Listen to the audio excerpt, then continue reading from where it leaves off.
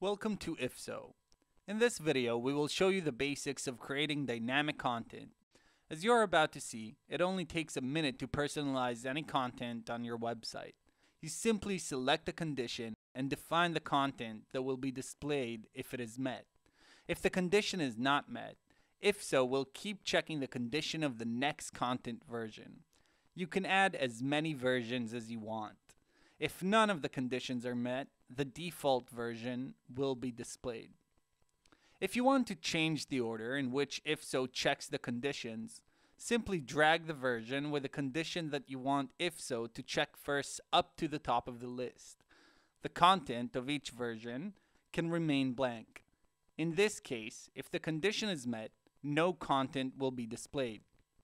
This feature enables you to leave your website the way it is for some users while displaying a personalized and engaging message to others. All done? Press publish and paste the trigger shortcode wherever you want it to go on your website. Each time a page containing the shortcode loads, the conditions will be checked and one of the content versions will be displayed accordingly.